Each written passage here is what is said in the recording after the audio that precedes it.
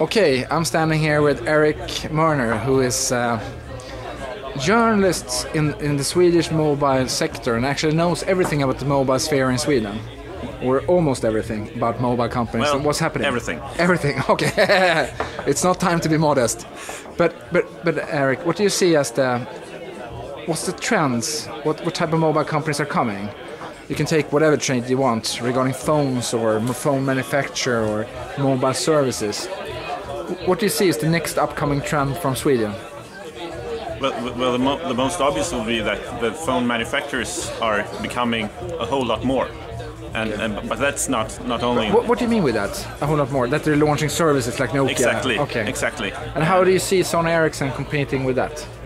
Well, they don't actually. They don't, okay. They they're trying, but but they're not even close. Okay. Okay. So you're talking about Ovi and and the, what you're doing with the bundling of phones and stuff like that. I I think Nokia, in a way, is, is somewhat uh, a forerunner in, in, in that area. Okay. Exactly. Yeah.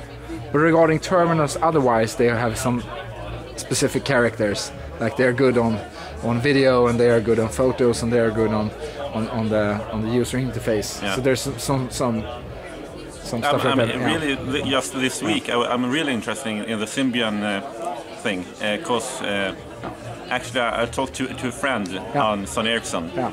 that's been trying the Paris P5 internally, Okay. and, and he said to me, and that's uh, well, Yeah.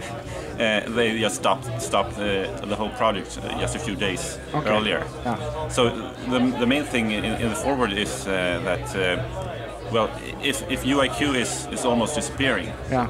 uh, the question is what, what will uh, Sony Ericsson do until in uh, the next two years until the, this yeah. n- new system is. So you can say it's a smart move that they have put out some Microsoft phones yeah, to have something in the meantime. the backup. Yeah, the plan. backup, yeah. Plan B. Yeah.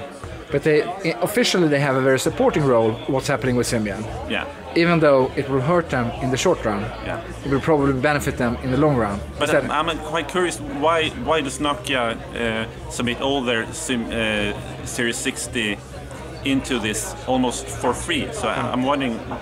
I guess some, What- what's their hidden agenda? yeah, exactly. Yeah. What will happen in, in the next? Yeah. I guess uh, Linux. that- Linux uh, And, and Erik, I think we can do a follow-up, and then we can discuss what's happening next. Yeah. because that we will only know in the future.